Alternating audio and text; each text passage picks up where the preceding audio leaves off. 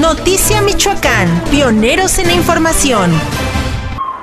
Si bien decía nuestro amigo Martín, esta calle tiene o tenía muchos años ya destruida y ya muchas solicitudes que se habían metido, no en mi administración, sino en muchas administraciones durante mucho tiempo.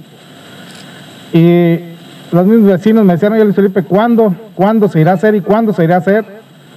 Y yo agradezco a la buena voluntad, a las ganas de trabajar para que las cosas se hagan. Esta calle, como muchas más que se han venido inaugurando, es el esfuerzo en conjunto de ayuntamiento y ciudadanos.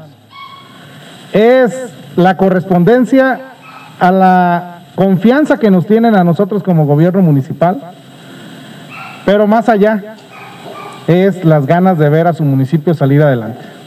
Habrá quien se pregunte y quien lo diga porque así me toca ver comentarios cuando inauguramos calles y más como estas calles que están dentro del centro de Zacapo. Dicen, Luis Felipe, y la mía falta la mía. Oye, Luis Felipe, ¿por qué la de mi colonia no? Pues nada más es de que nos pongamos de acuerdo y seguro estoy que la estaremos pavimentando. Este gobierno municipal se ha comprometido porque dentro de los próximos tres años tengamos al 70-80% de, de repavimentado reconstruido en nuestro municipio. NM Noticias, pioneros en la información.